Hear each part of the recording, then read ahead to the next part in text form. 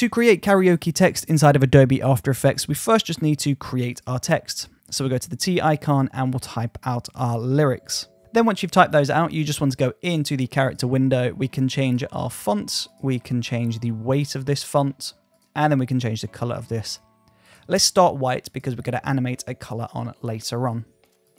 Now from here, you just want to turn on the proportional grid and place the text where you want it to be. So I'm going to put it in the center at the bottom. Then we're just going to make a copy of that text layer.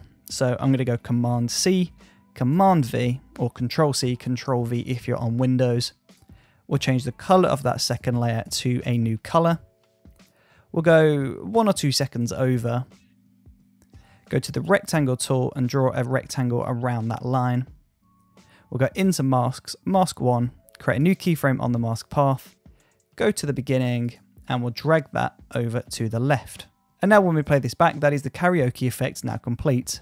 But of course, to speed this up, so if you've got a shorter lyric section, you just decrease the gap between those keyframes and if it's a longer section, then you just increase the gap.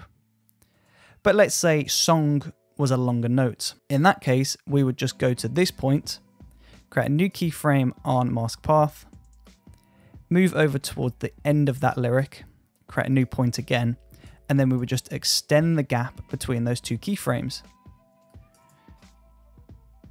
So it's, it's hanging on song a lot longer. And then of course we would just cut the end off both of these text layers, delete them, and we could just copy and paste that again and paste our new lyrics onto this second text layer.